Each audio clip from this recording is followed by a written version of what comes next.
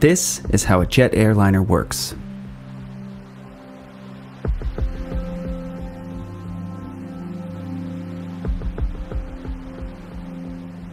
Let's start with the airframe. Thousands of specially formed, damage resistant panels are riveted or otherwise attached to a lightweight underlying base called the airframe. The panels and frame together make a very strong, relatively lightweight craft. Many of these parts, especially the outer panels, are made from a carbon fiber reinforced material, though traditional aluminum and aluminum alloys are also used. Vertical frames underpin the cross-sectional tube shape, connected by longerons that stretch from nose to tail. And in between these, a vast network of stringers, intercostals, and subframes. At the nose, the radome shields a weather radar antenna beneath, while allowing specific radio frequencies to pass through for proper functioning. A double layered bird strike barrier is situated behind that. Floor beams attach to frames and support the floor panels. Higher grade panels are used in high traffic areas and the cockpit or flight deck, with lower grade panels beneath passenger seating areas. Pressure bulkheads are reinforced metal barriers that separate pressurized from non pressurized areas of the plane. Humans are accustomed to about 14 psi of air pressure. Passenger planes generally fly between 31 and 38,000 feet above sea level, where air pressure is a meager 4 psi or lower. As such, most sections of the airplane are pressurized while in flight. These areas include the flight deck and passenger areas, equipment bays, and cargo compartments. Unpressurized areas are the radome, landing gear bays, the center wing box, and the tail cone. The wings attach near the center of the aircraft. A center wing box ties wing frames together with the fuselage. The keel beam offers additional support a wing to body fairing attaches to the keel beam and a pair of external longerons to enclose and further strengthen this critical wing attach point. Sturdy yet flexible spars stretch from the center wing box to the wingtip, one at the leading edge and one at the trailing edge of the wing.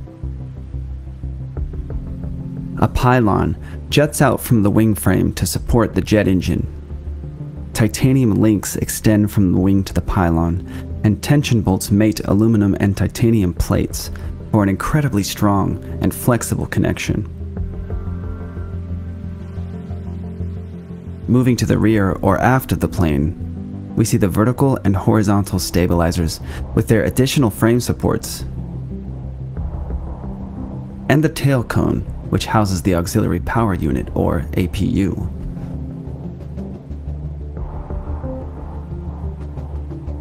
Windows. The windshields and side windows are made from three layers of chemically strengthened glass, covered with an anti-static coating. Cabin windows maintain the structural integrity of the fuselage with a thick outer pane made from acrylic.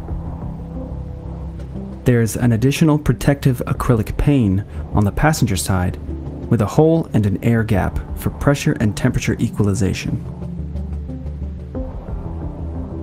Doors. There are passenger doors front and rear, with corresponding service doors on the starboard side. Cargo access doors are also on the starboard underside.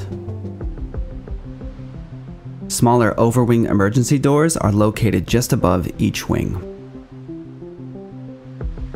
Doors must be disarmed before opening so the emergency slide will not deploy. An overpressure light, visible from the inside and outside the door, indicates whether the pressure differential would permit safe opening. A vent panel enables pressure equalization. Turning the interior latch handle allows the door to be opened. There's also an externally accessible door latch. The door rides on a hinge arm to swing out and away from the plane body. With stabilizer bars to guide its path.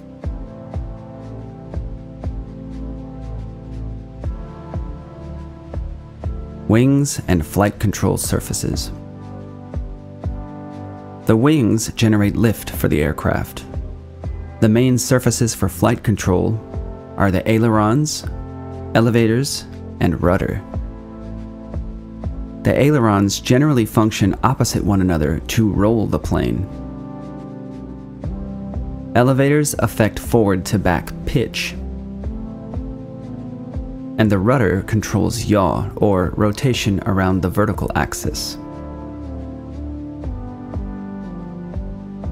The entire horizontal stabilizer, which the elevators are attached to, can be rotated to hold the plane at a particular attitude and leave the elevators for finer adjustments. To achieve this, the stabilizer is attached to a motorized device that can move up or down a threaded rod. Secondary flight control surfaces assist these primary systems. On the wing, leading edge slats and trailing edge flaps make up what is known as the high lift flight system. Both slats and flaps extend outward from the wing in a curved, downward motion, which dramatically alters wing shape to allow for a much steeper climb angle while also mitigating the chances of a stall for takeoff and while climbing to cruising altitude. The curved slat supports ride on gears driven by a line of connected shafts back to the slat power drive unit.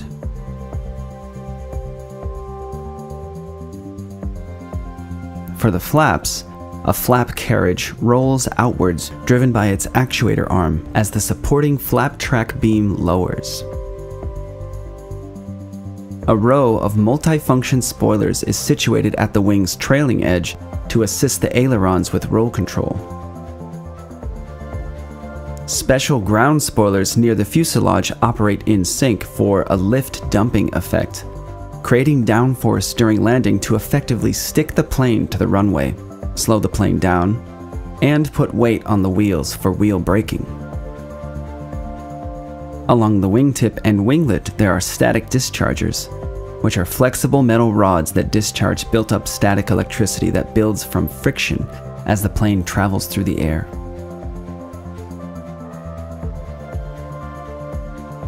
Landing gear. A strengthened portion of the wing has attachments for the main landing gear, which is tucked inside the wing and body during flight. A hydraulic retraction actuator is attached to the main landing gear strut in such a way to rotate the gear into position for landing. Bearing doors pivot with the rotating action. When the landing gear is fully deployed, a hinged side brace and locking stay with its own actuator keep landing gear locked firmly in place. These components unlock and fold with the landing gear for stowing.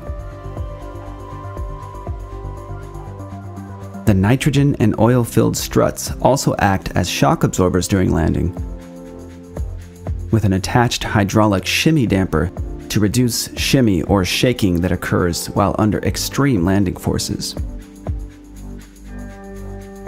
There's a heavy duty carbon brake stack in each wheel Rotors match with keys on the inside of the wheel so they rotate together. Stators are keyed to the axle and are stationary. During braking, electrically driven pistons compress the stack, and the resulting friction slows the plane down.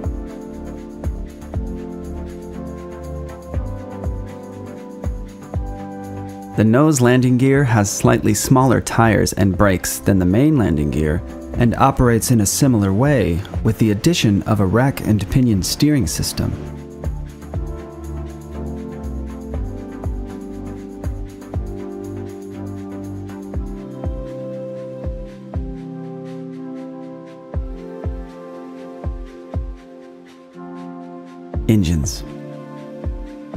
Animagraphs already has an existing video about the inner workings of a jet engine.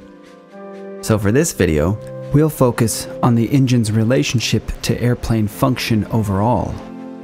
The rear of the engine case or cowling houses the thrust reverser assembly, which reverses fan thrust to slow the plane down just after touchdown, reducing wear to other landing parts and allowing shorter landing distances.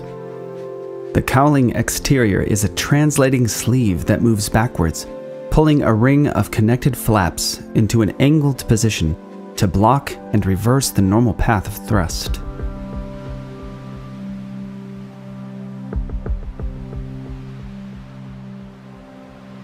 Auxiliary Power Unit The APU is a backup power source that can supply energy to things like cabin air conditioning, cockpit avionics, and so on when the plane is grounded and not yet connected to an airport power source. The APU also provides power to the main engines for starting. Pressurized air from the APU turns a small turbine device at the engine, which rotates the main gearbox and engine internals, starting the fuel and airflow process on which jet engines function. The APU itself is a gas generator that runs on principles similar to the core of a jet engine. The APU has an electric battery powered starter. Air is drawn in through a port at the rear of the plane. It's mixed with fuel and ignited, and the resulting combustion drives a turbine to pressurize more air for various purposes or run an electric generator. The APU exhausts out the back of the plane.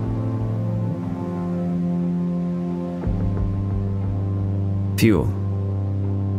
The center box and most of the internal wing area form a giant system of fuel tanks. The main containers are the left, center, and right fuel tanks.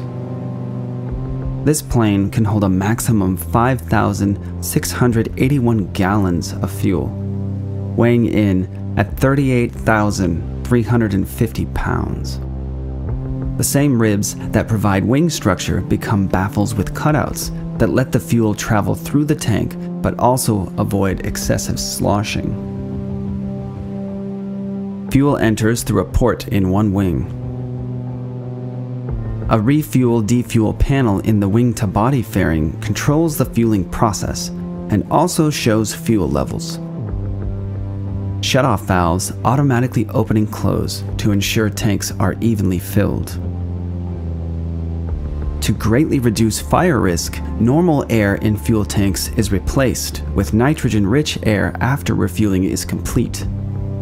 Bleed air valves on the main engines siphon off pressurized air,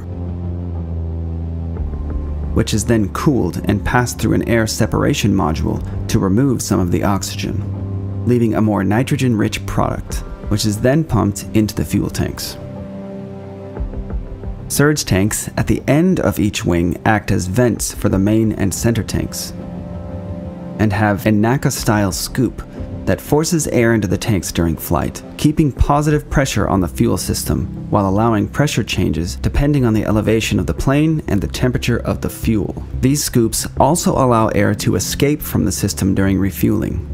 One-way flapper valves allow fuel to flow back into the main tanks, but not in reverse. The main fuel pump is located inside the jet engine casing, attached to a gearbox which is powered by the jet engine. Smaller collector tanks in each wing remain constantly full to provide uninterrupted fuel supply to the engine. To accomplish this, many supporting fuel pumps work to transfer fuel as necessary from the center and wing tanks. These pumps, called motive flow pumps, work by pressure alone without moving mechanical parts for simplicity and reliability. Fuel from the engine-mounted main pump flows through a nozzle into a narrowing tube, creating lower pressure in the chamber behind the nozzle, which sucks up fuel into the stream. Electrical boost pumps in each wing can act as a backup if other pumps fail. During normal operation, motive flow pumps transfer fuel from the center tank to main wing tanks to collector tanks and then to the engine.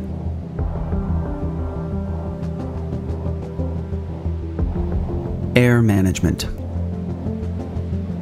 While in flight, pressurized air for crew and passenger spaces is collected from both the low and high pressure compressors inside the engine through bleed air valves.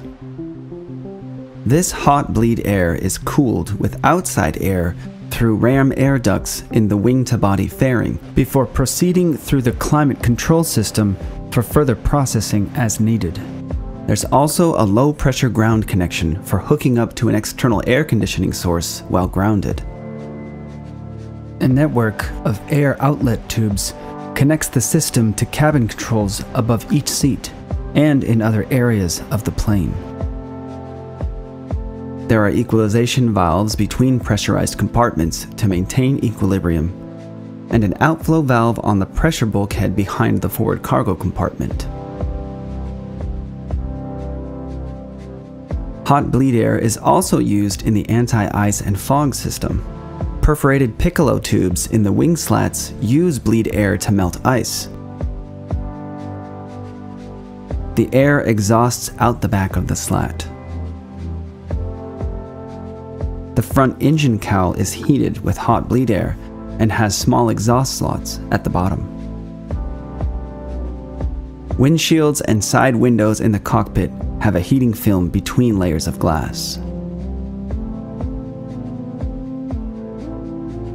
Electrical. There are two electrical equipment bays in the underside of the plane's body.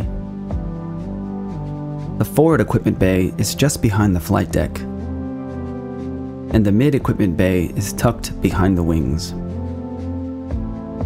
These bays are filled with a dizzying array of electronics, computers, etc., to run the many systems on this complex airplane. Generators attached to each engine are the main source of electrical power. The APU can provide backup power. Three separate electrical power centers control distribution to critical systems like landing gear, the high lift flight system, brakes, tire pressure monitors, and many more. There are two primary flight control computers in the forward equipment bay, with backup alternate flight computers in the mid equipment bay.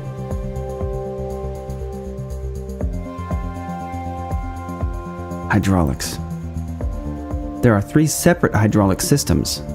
Systems 1 and 2 are redundant in case one system fails. The third system operates only in emergencies. The base components for System 1 are nestled in the port side wing to body fairing. System 2 mirrors this arrangement, but on the starboard side.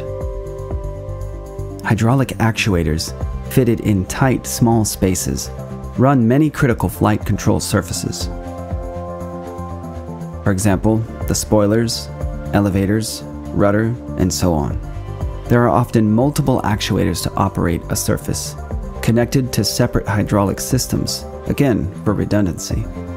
Hydraulic System 1 controls the upper rudder actuator, left elevator outboard actuator, left thrust reverser, left and right multifunction spoilers 1 and 3, the flap power drive unit, left and right flap brake, left and right ground spoilers, and landing gear. Hydraulic System 2 powers the middle rudder actuator, the right elevator outboard actuator, right thrust reverser, the right and left multifunction spoiler 4, the left aileron outboard actuators, nose wheel steering, the slat power drive unit, and the left and right slat brakes. Emergency System 3 can power the lower rudder actuator, left and right elevator inboard actuators, left and right multifunction spoiler number 2, left and right aileron inboard actuators, left and right slat and flap brakes, and the ram air turbine stow actuator.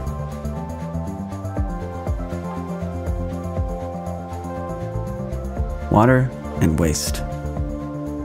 This plane has three bathrooms, one up front behind the flight deck, and two at the back. There are also sinks at the forward and rear galley stations. Pumps pull water from a 42 gallon tank anchored under the rear floor panels.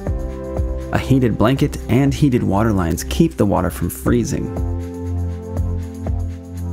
A water heater near each sink passes hot water through a water mixer to regulate faucet temperature.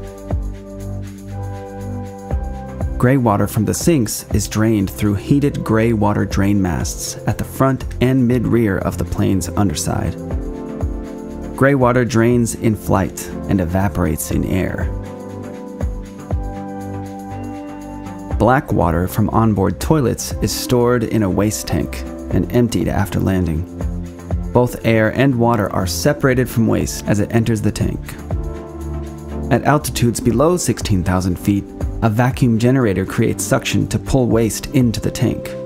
Above 16,000 feet, the vacuum generator is bypassed, and the pressure difference inside and outside the plane creates the necessary suction forces. Emergency Systems The forward and aft galley stations have first aid kits, flashlights, fire extinguishers, crew life vests, megaphones, and portable oxygen cylinders that provide 15 minutes of oxygen to crew members. Oxygen generators are positioned above each row of seats. If the cabin loses pressurization, masks deploy, and a chemical reaction generates about 13 minutes of oxygen. An emergency locator transmitter automatically activates if a crash is detected. This transmitter emits a signal that can be used to help locate the aircraft. An aircraft identification module provides the location transmitter with aircraft-specific data. Door-mounted slides are packed into a bottom compartment in each passenger and service door. A lever in the door arms the slides so that it will deploy when the door is opened by attaching itself to the door sill and deflating. The overwing emergency exit doors are always armed and an escape slide will deploy from a special compartment near the rear of the wing when the door is opened. In the event of full electrical power failure, a ram air turbine or RAT deploys automatically and works like a tiny windmill, using the plane's movement through the air to generate emergency electrical power. RAT power keeps emergency and landing gear systems active and provides power to emergency hydraulic system number 3.